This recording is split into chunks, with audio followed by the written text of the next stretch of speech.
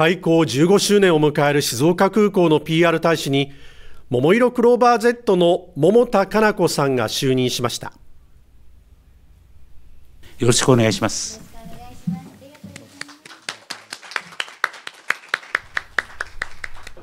昨日富士山静岡空港開港15周年 PR 大使に就任したのはアイドルグループ桃色クローバー Z のメンバーで浜松市出身の桃田かな子さんですこの度は富士山静岡空港の PR 大使に、えー、選んでいただき本当にありがとうございます、えー、地元の静岡の、えー、PR をできるということでとても嬉しい気持ちでいっぱいです。任期は1年間で県が制作するテレビ CM やポスターなどに出演し空港の魅力を発信していきます。新型コロナが5類に移行し昨年度から利用者数は回復傾向となっていて